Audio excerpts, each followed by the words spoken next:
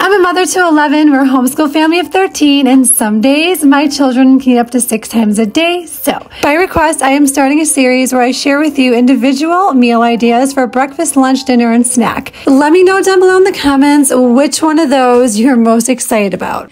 The kids have been studying about Ireland and St. Patrick, so Cecilia was coloring a rainbow, and she looked at me and she said she wanted rainbow food. So, here's what we came up with. All you're gonna need is homemade chia pudding, Greek yogurt, blackberries, blueberries, kiwi, pineapple, cuties, strawberries, and a little bit of coconut flakes. If you would like these jars, I do have them linked to my Amazon store. Thank you so much for being here. Thank you for watching this video. I'll be sure to drop the recipe down below for you, and we will see you on the next video. Take care.